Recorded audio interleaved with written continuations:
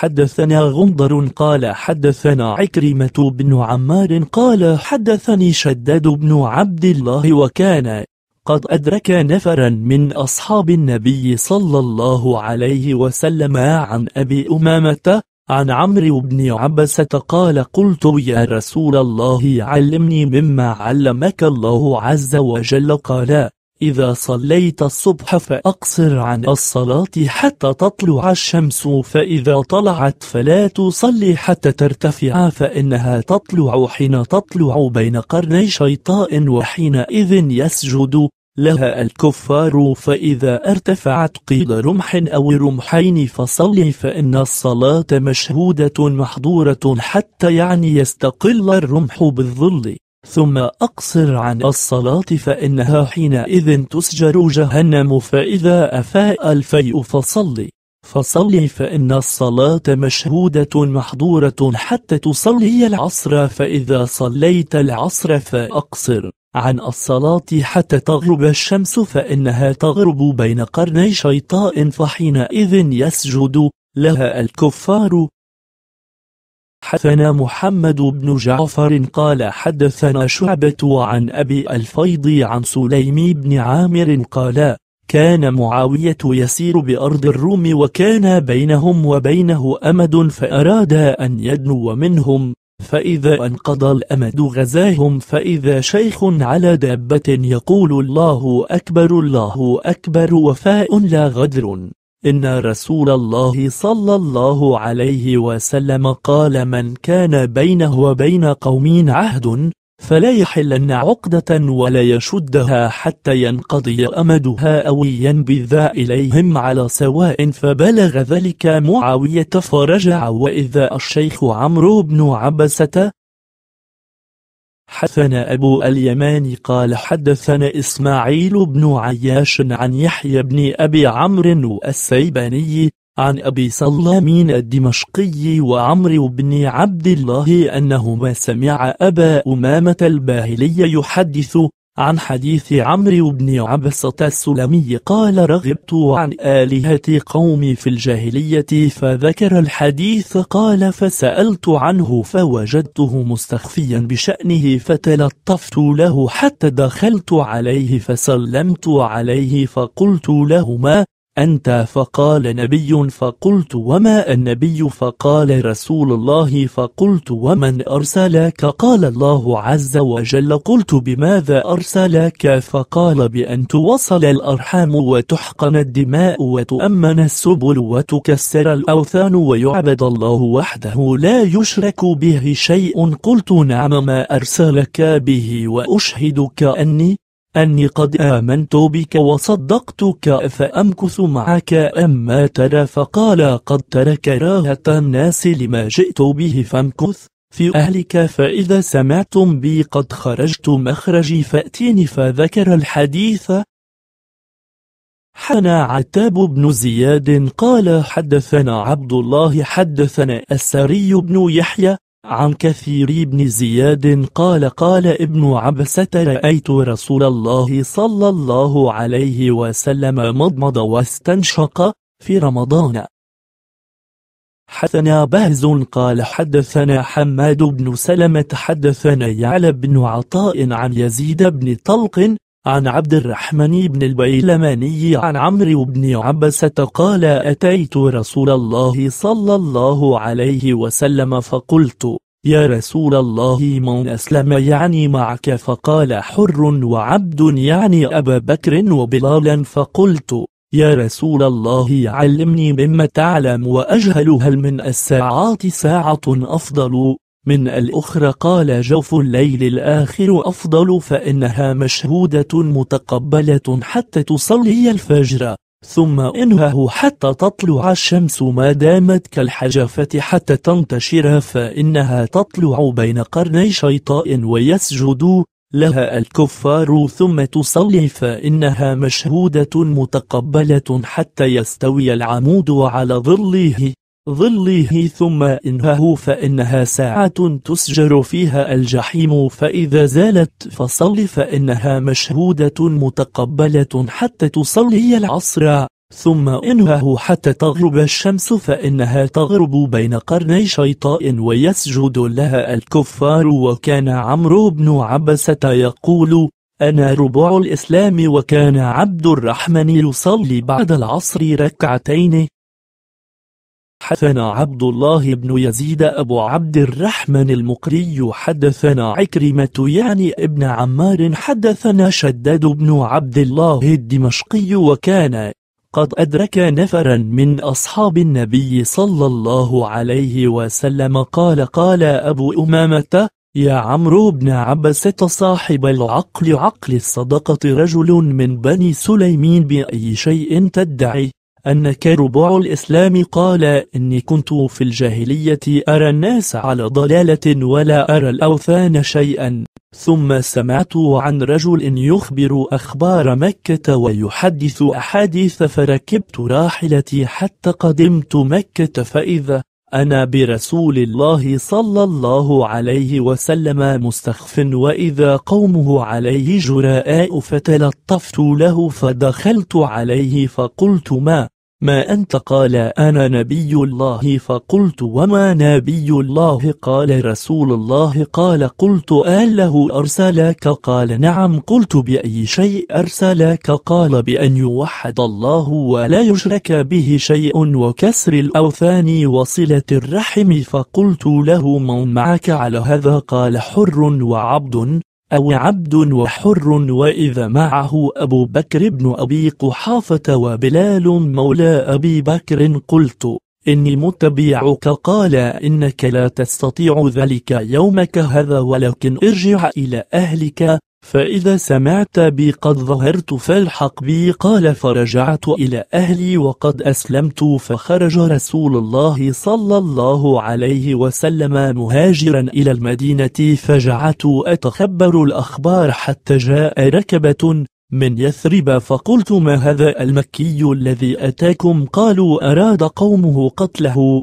قتله فلم يستطيعوا ذلك وحيل بينهم وبينه وتركنا الناس سراعا. قال عمرو بن عبسة فركبت راحلتي حتى قدمت عليه المدينة فدخلت عليه فقلت يا رسول الله أتعرفني قال نعم ألست أنت الذي أتيتني بمكة قال قلت بلى فقلت يا رسول الله علمني مما علمك الله وأجهل. قال إذا صليت الصبح فأقصر عن الصلاة حتى تطلع الشمس فإذا طلعت فلا تصلي حتى ترتفع فإنها تطلع حين تطلع بين قرني شيطاء وحينئذ يسجد. لها الكفار فإذا ارتفعت قيد رمح أو رمحين فصل فإن الصلاة مشهودة محضورة حتى يستقل الرمح بالظل. ثم أقصر عن الصلاة فإنها حينئذ تسجر جهنم فإذا فاء الفيء فصل.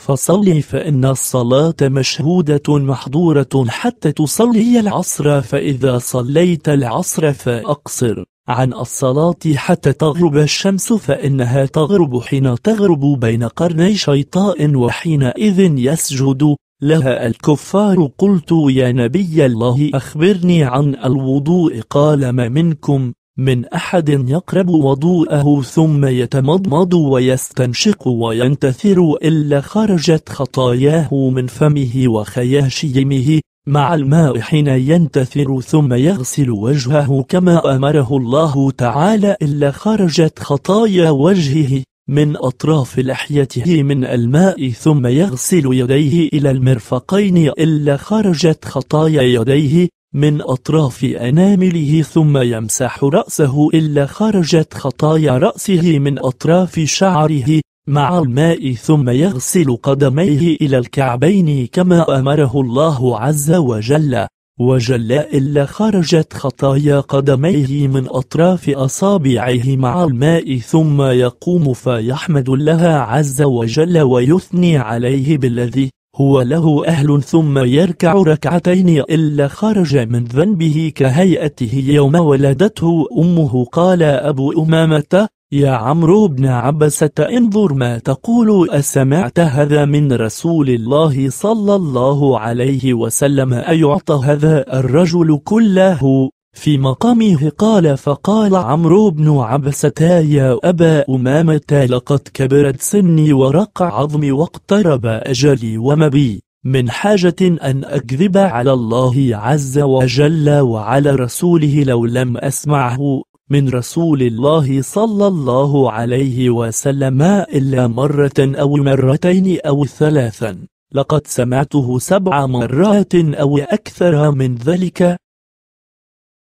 حدثنا الحكم بن نافع حدثنا حريز عن سليمين يعني ابن عامر أن شرحبيل بن السمت قال لعمر بن عبسة حدثنا حديثا. ليس فيه تزيد ولا نسيان قال عمرو سمعت رسول الله صلى الله عليه وسلم يقول من أعتق رقبة مسلمة كانت فككه من النار عضوا بعضو ومن شاب شيبة في سبيل الله كانت له نورا يوم القيامة ومن رمى بسهم فبلغ فأصاب أو أخطأ كان كمن أعتق رقبة من ولد إسماعيل حن أسود بن عامر قال حدثنا أبو بكر يعني ابن عياش عن عاصمين عن شهر بن حوشب عن أبي أمامة قال أتيناه فإذا هو جالس يتغلى في جوف المسجد قال فقال رسول الله صلى الله عليه وسلم إذا توضأ المسلم ذهب الإثم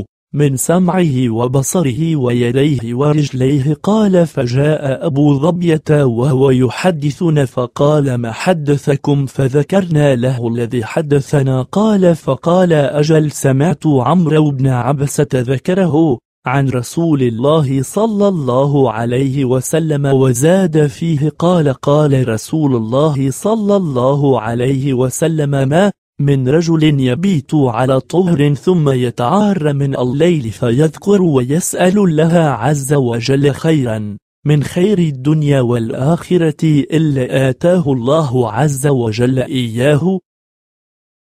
حفن روح قال حدثنا هشام بن أبي عبد الله عن قتادة عن سالم بن أبي الجعد عن معدنا بن أبي طلحة عن أبي نجيح السلمي قال حاصرنا مع نبي الله صلى الله عليه وسلم حصن الطائف فسمعت رسول الله صلى الله عليه وسلم يقول من بلغ بسهم فله درجة في الجنة قال فبلغت يومئذ ستة عشر سهما فسمعت رسول الله صلى الله عليه وسلم يقول من رمى بسهمين في سبيل الله عز وجل فهو عدل محرر ومن شاب شيبة في سبيل الله كانت له نورا يوم القيامة وأيما رجل مسلمين أعتق رجلا مسلما فإن الله عز وجل جاعل وفاء كل عظم من عظامه عظما من عظام محرره. من النار وأيما امرأة مسلمة أعتقت امرأة مسلمة فإن لها عز وجل جاعل وفاء وفاء كل عظم من عظامها عظما من عظام محررها من النار. حسن روح قال حدثنا عبد الحميد بن بهرام قال سمعت شهر بن حوشب قال حدثني أبو ظبية قال قال عمرو بن عبسة سمعت رسول الله صلى الله عليه وسلم يقول أيما رجل مسلمين رمى بسهمين في سبيل الله عز وجل فبلغ مخطئا أو مصيبا فله من الأجر كرقابة أعتقها من ولد إسماعيل حدثنا محمد بن بكر حدثنا عبد الحميد يعني ابن جعفر قال حدثني الأسود بن العلاء عن حوان مولى سليمان بن عبد الملك عن رجل أرسل إليه عمر بن عبد العزيز وهو أمير المؤمنين قال كيف الحديث الذي حدثتني عن الصنابحي قال أخبرني الصنابحي أنه لقي عمرو بن عبسة فقال هل من حديث عن رسول الله صلى الله عليه وسلم لا زيادة فيه ولا نقصان. قال نعم سمعت رسول الله صلى الله عليه وسلم يقول من أعتق رقبة أعتق الله بكل عضو منها عضوا منه من النار ومن رمى بسهم في سبيل الله بلغ أو قصر كان عدل رقبة ومن شاب شيبة في سبيل الله كان له نورا يوم القيامة.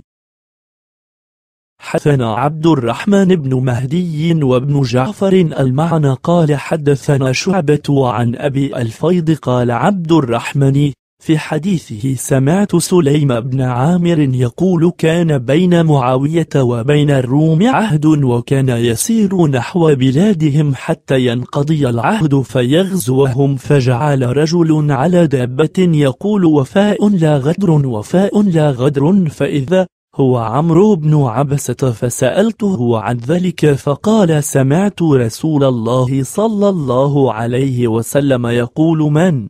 كان بينه وبين قوم عهد فلا يحل عقدة ولا يشدها حتى يمضي أمدها أو ينبذ إليهم على سواء فرجع معاوية رضي الله تعالى عنه.